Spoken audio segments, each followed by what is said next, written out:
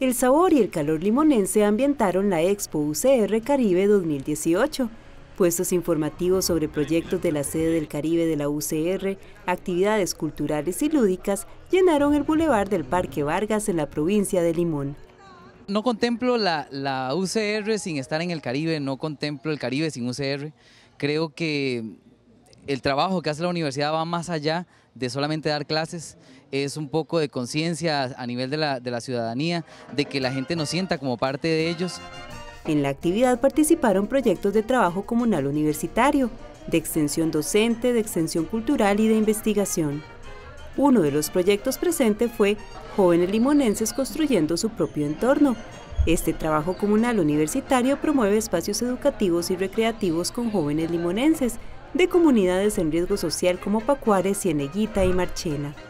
Algunas comunidades necesitan este, que hagamos encuestas, foros para ver las problemáticas y entonces con ello nosotros definimos ya el problema y comenzamos a trabajar diferentes temas para jóvenes como puede ser sexualidad, como puede ser este, problemas emocionales y demás de lo que necesiten ellos.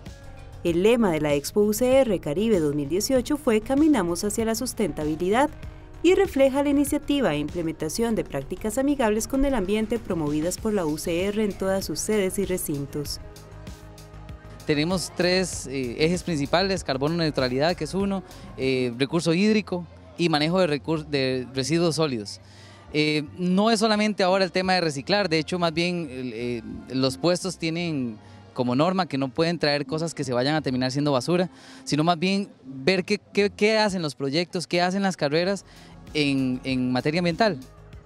En la feria se expuso el trabajo y proyección comunal del Centro Infantil Universitario Bilingüe.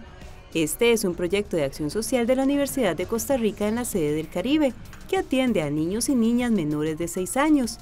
En el centro se les brinda estimulación y una formación integral para ellos y sus familias. En el proceso de formación educativa participan estudiantes de la carrera de educación preescolar, con concentración en inglés que se brinda en la sede del Caribe. El centro infantil ha sido como un puente de capacitación también, más de lo que se recibe en los cursos, ¿verdad? Este, muchas de las que estudian preescolar bilingüe, inclusive enseñanza del inglés también, eh, solicitan hacer horas ¿verdad? Sean estudiantes o asistentes para ir al centro infantil y poder trabajar ahí. La realización de la Expo UCR en cada una de las sedes regionales se enmarca en la celebración del 50 aniversario de la regionalización universitaria.